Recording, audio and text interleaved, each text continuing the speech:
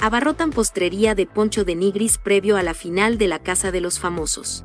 Diversas sucursales de la postrería perteneciente a Poncho de Nigris lucieron completamente abarrotadas este viernes, previo a la gran final de la Casa de los Famosos. La razón por la cual lucieron completamente abarrotadas es, después de que dieran a conocer una promoción en la cual te podías llevar una rebanada de pastel completamente gratis, al mostrar tu voto por Poncho en la gran final. En un sondeo realizado en las filas de la sucursal en la Plaza Park Point en Cumbres, los regiomontanos revelaron que para ellos los favoritos en la gran final de la Casa de los Famosos son Poncho y Wendy Guevara. Gana Poncho o Wendy, reiteraron los presentes. Parte del corporativo de la postrería, identificada como Ana Paula González, reveló para ABC Noticias que cerca de 20.000 personas fueron las que acudieron a las sucursales de San Nicolás, Santiago, Monterrey, Cumbres y Saltillo. Quisimos hacer esta dinámica de regalar la rebanada.